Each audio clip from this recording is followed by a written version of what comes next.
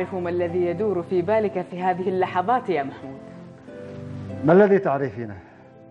هل أخبرك أحد بشيء ما؟ ما بالك تجهم وجهك؟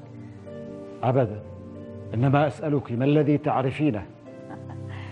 أنت تضع الآن في خيالك المستشفى التي سيبنيها ولدك على قطعة الأرض التي تمتلكها دعك من هذه الأحلام الآن ولا تأتي بذكر المستشفى على مسمع ولدك هل تراجعت عما وعدت به؟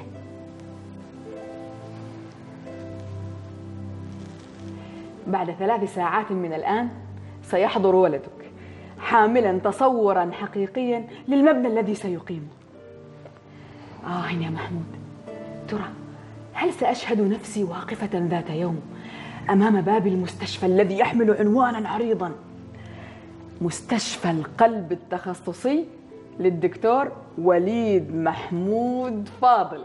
كفي عن هذا الهراء واذهبي لإعداد الطعام. منذ أسبوعين وأنت لست على ما يرام. أشعر أشعر بأن شيئا يقلقك ولا تود البوح به. مشاغل الحياة كثيرة ولا شيء يدعو للانشراح. أنت هنا تعدين الطعام وترتبين المنزل.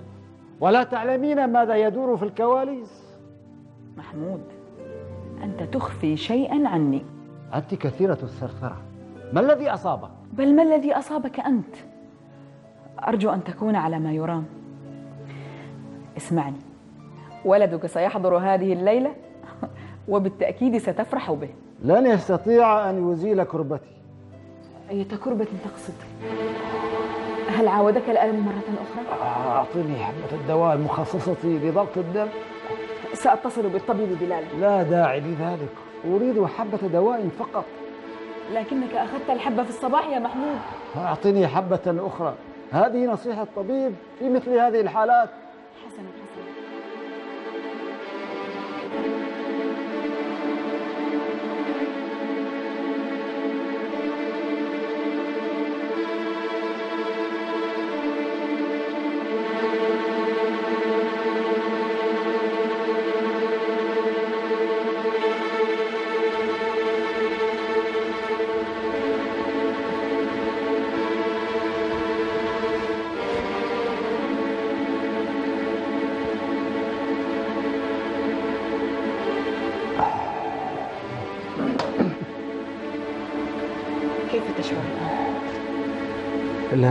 يزول في لحظة عين.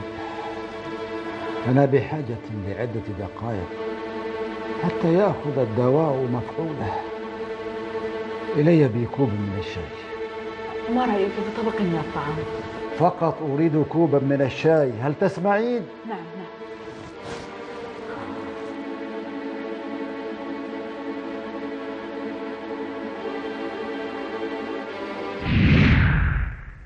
سأحدثك بكل صراحة. المصرف كشف على الأرض التي تنوي رهنها وقد قرر أن يعطيك قرضا بقيمة خمسة وعشرين ألف ريال. ولكنني بحاجة إلى خمسة وثلاثين يا أستاذ سليم. لا أستطيع أن أغير الرقم المدون أمامي. أستطيع أن أنقص منه شيئا لكني لا أستطيع الإضافة إليه. هنالك مجلس إدارة يقرر وأنا مجرد موظف أنفذ لا حل سوى الحل الذي قبلت به الخمسة والعشرين ألف ريال هل لديك مشروع تجاري تنوي القيام به؟ أبدا مشروع تعليمي تنوي افتتاح مدرسة؟ بل أرسل هذا المبلغ لولدي الذي يدرس في أوروبا مهم. ما هو مجال تخصصه؟ الطب الجراحي لأوردة القلب وشرايينه ما شاء الله ما شاء الله. إذا أنا مطمئن بأنك ستسدد المبلغ بأسرع وقت ممكن. الاتكال على الله. هذا أملي ومرادي. ونعم بالله. إذا وقع هنا. أخبرك بأمر مهم.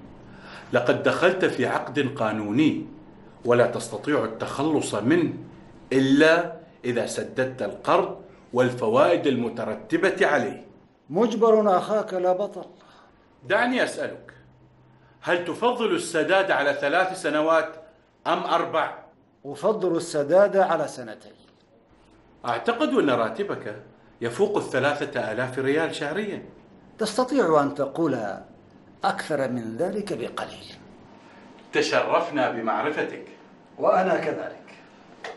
قلت أن ولدك طبيب متخصص؟ لنكن أكثر دقة. هو طبيب جراح لصمامات القلب.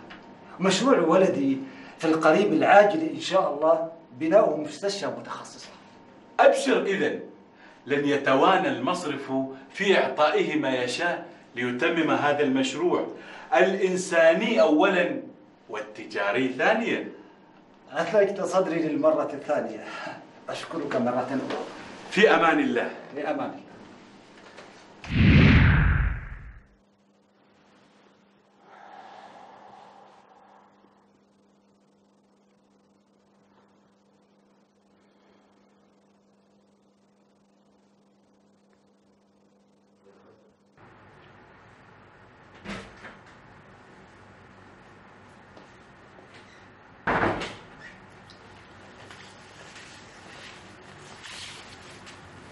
طلبتك المستشفى على ما يبدو.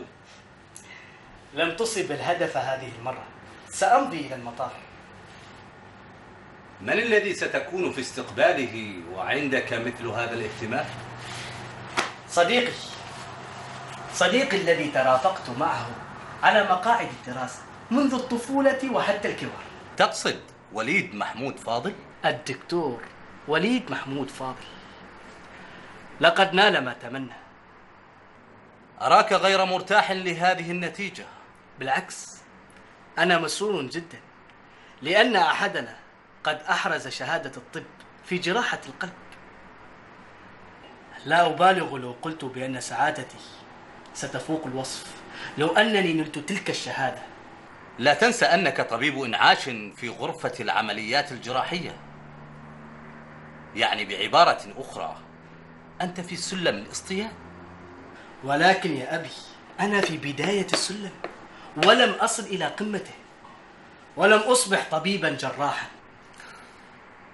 أنت على الدوام تنكأ جرحي وتعيب علي تقصيرا لم أكن أستطيع تجاوزه. بل أنت قدمت لي الكثير الكثير ولهذا أرجو ألا يؤنبك ضميرك. صدقني يا أبي إنني سعيد جدا بما وصلت إليه. وها أنا أملأ الوظيفة التي أقوم بها وهذا ما ينعش قلبي ويثلج صدري. أستميحك عذرا يا والدي سأمضي إلى المطار. مع السلامة. مع السلامة يا بني. مع السلامة.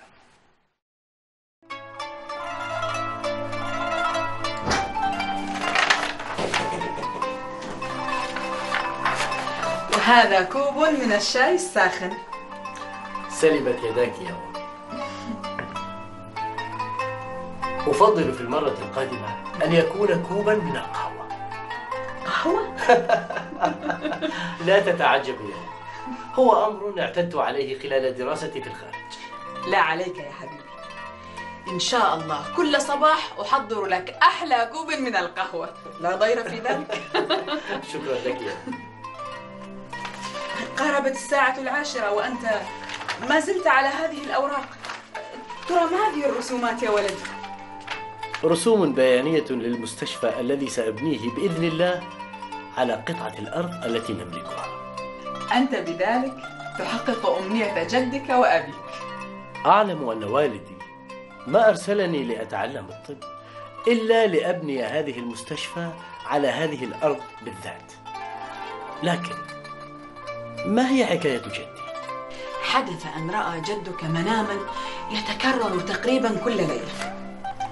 كان يرى فيما يرى النائم أن رجلا معطاء وشهما ووقورا يمنحه ثروة من المال فيبني مستشفى على قطعة الأرض هذه. صحيح. ونتيجة لتكرار هذا الحلم أصبح هاجسا لديه. فنذر أن يبني على هذه الأرض مستشفى. يا سبحان الله. وحدث أنه مات في الطريق والدي لم يتمكن حتى من الوصول بك إلى المستشفى. سبحان الحي الذي لا يموت. إلا أن جدك رحمه الله تعالى وضع بندا في وصيته يقضي بأن تبنى المستشفى على هذه الأرض بالذات. وترك ثروة لذلك تقولين ترك ثروة؟ لم أسمع بهذا الكلام من قبل. إذا سأبدأ بمشروعي من الغد. لا تستعجل النعمة يا بني. لقد بذر والدك هذه الثروة بأكملها. ولم يبقى إلا هذه الدار وقطعة الأرض تلك. لقد باع ثلاث قطع من الأراضي. ومستودعين متخمين بمختلف البضائع.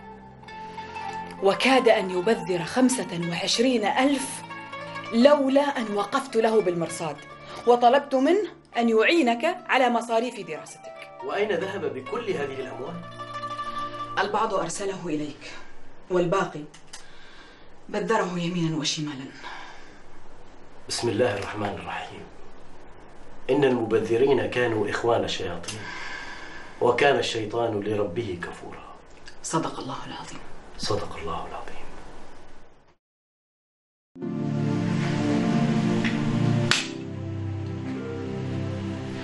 انتبه. لعبتك هذه تؤدي بحصاني أن يجتاح قلعتك.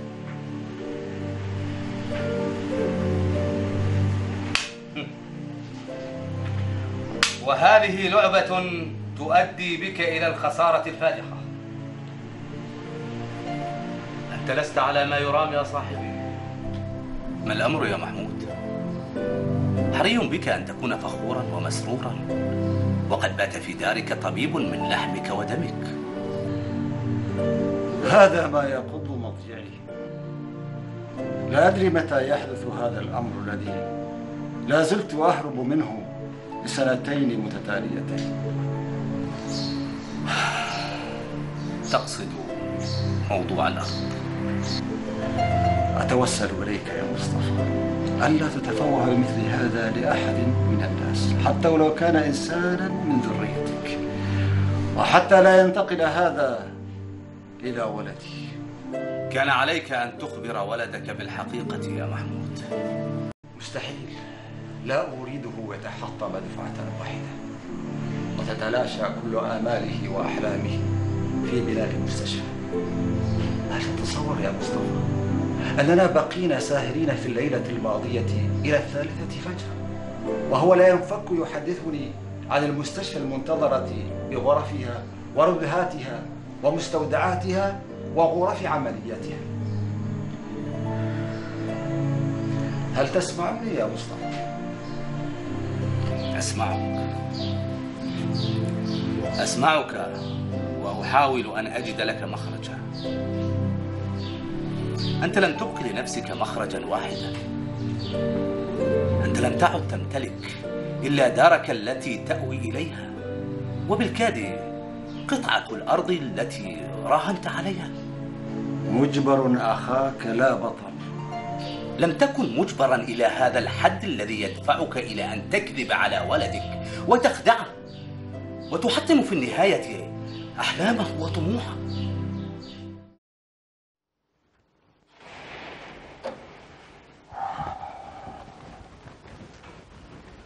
آه إلى أين يا أبي؟ إلى المصنع طبعا. عشرون سنة وأنا على هذا المنوال. اطمئن. سأريحك قريبا من عناء هذه المهنة إن شاء الله. حبذا يا بني حبذا. قلت لك اطمئن يا أبي. في السنة القادمة إن شاء الله ستكون مسؤول المحاسبة في المستشفى ولن ينفق أو يجبى ريال واحد إلا بمشيئتك. وهل تراني أستسيغ ترك المصنع الذي قضيت فيه عشرين سنة؟ عجيب أمرك يا أبي. كلما حدثتك عن مشروع المستشفى ثارت عصبيتك ونأيت عنها. حدثني بصراحة. هل أنت ضد المشروع؟ قلت تأخرت عن المصنع. اسمح لي ألا أدعك تمر حتى تخبرني ما في خلتك هل أمسيت من المعارضين لمشروع المستشفى؟ أم أن وراء الأكمة ما وراءها؟ وراء الأكمة ما وراها. أطعني فتسعد. بماذا أطيعك يا أبي استمع إلي جيدا يا وليد ماذا لو قبلت دعوة أستاذك في بريطانيا؟ تريدني أن أذهب إلى مستشفى بريطاني وأوقع على عقد عمل لمدة عشر سنوات قادمة يا أبي؟ وما الضير في ذلك؟ ما دام راتبك يفوق الخمسة آلاف ريال شهريا. وتأكل وتنام على نفقة المستشفى ثم إن لك راتبا إضافيا لو اشتغلت ساعات بعد دوامك تريد أن تبعث بابننا إلى بريطانيا لعشر سنوات أخرى؟ أي أنانية هذه يا محمود؟ أرجوك أن تكملي ما بدأت به ودعينا نتحدث وحدنا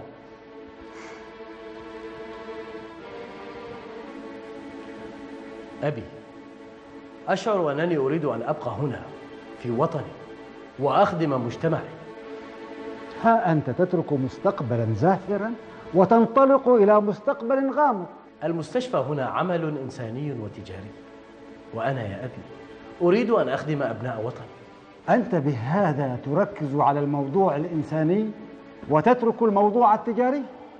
فكرت مليا يا أبي.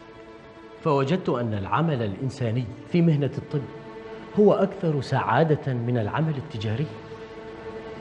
ثم أنك نسيت يا أبي عندما كنت تصطحبني طفلا إلى قطعة الأرض القريبة من الساحة العامة وتقول لي اسمع يا وليد غدا ستصبح طبيبا ناجحا وعلى هذه الأرض سيكون لك مستشفى وبذلك تحقق رغبتي ووصية جدك أنسيت ذلك؟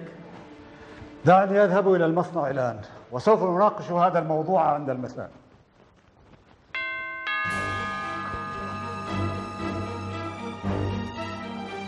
أبي هل تنتظر خبرا سيئا؟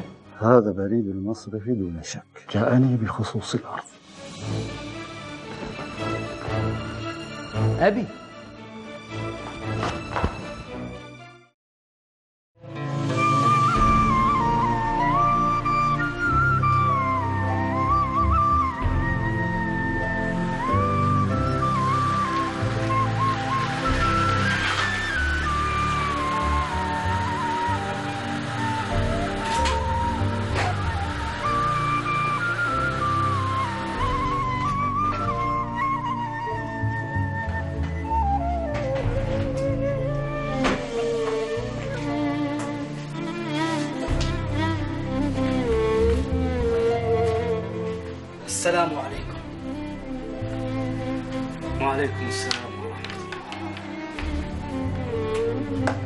أنا لم أستطع المكوث طويلا بالعزاء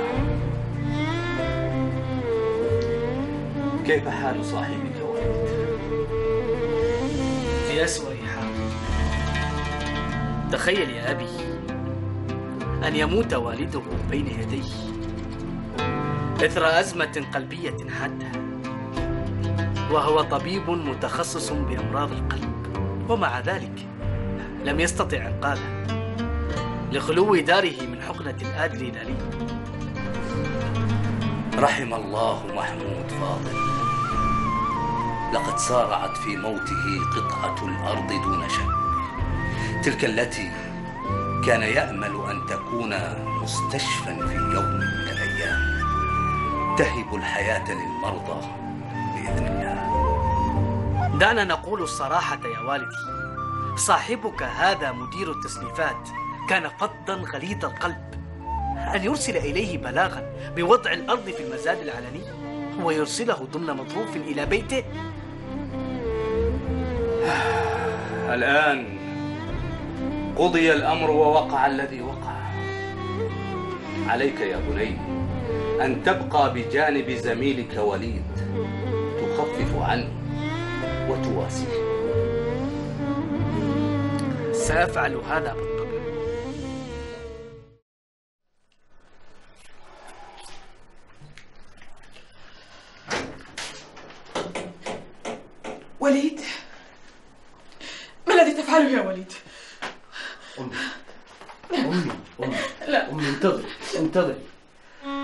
يجب أن أعود إلى بريطانيا. ابقى معي. ابقى إلى جانب. أمي لن نعيد حديث الأمس. المهلة هي أسبوع واحد لقبول العمل في بريطانيا. طلبت منك أن تأتي معي. فرفضت. دعيني أذهب لوحدي. كيف أذهب إلى بريطانيا؟ كيف أترك بلدي؟ إلى بلد لا أعرفها. حتى ولو كانت جنة الخلد على الأرض. أمي دعينا نترك العواطف جانبا ونفكر من زاوية المنطق. لن أستطيع أن أسترد الأرض وأبني عليها المستشفى إلا إذا عملت في الخارج. تبا لهذه الأرض ولهذه المستشفى. أنا لا أريد مستشفى ولا أريد أرض. أريدك أنت. أريدك إلى جانبي. هنا نولد وهنا نموت. نموت بعد أن نحقق أحلامنا ووصايا أحبائنا. كان الأجدر بأحبائنا أن يحققوا وصاياهم بأنفسهم. اسمح لي الآن يا سلام. علي أن أغير ملابسي وأذهب إلى المطار. مم. اسمعني جيدا. لقد وافقت إدارة المستشفى أن تعطيك ثلاثة آلاف ريال شهريا بدلا من ألفين. ها ما رأيك؟ أنا أسعى للحصول على ثمانية آلاف ريال شهريا. ولا أظن أنك تعارض على هذا. حسنا. هل تجد في الغربة ما يبعث الطمأنينة إلى قلبك كما لو كنت هنا على أرض الوطن؟ لقد سئمت سماع الشعر يا صاحبي.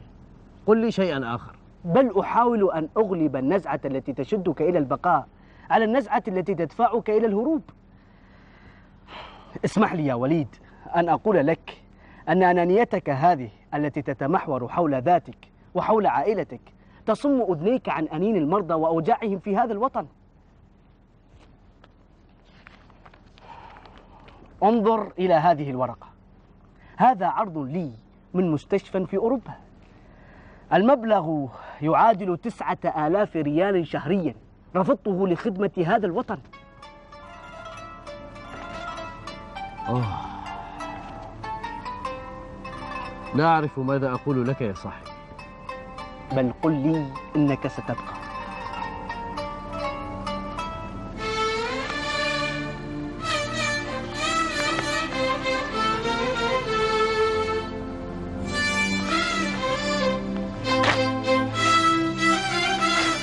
أجل سأبقى. سأبقى من أجل هذا الوطن.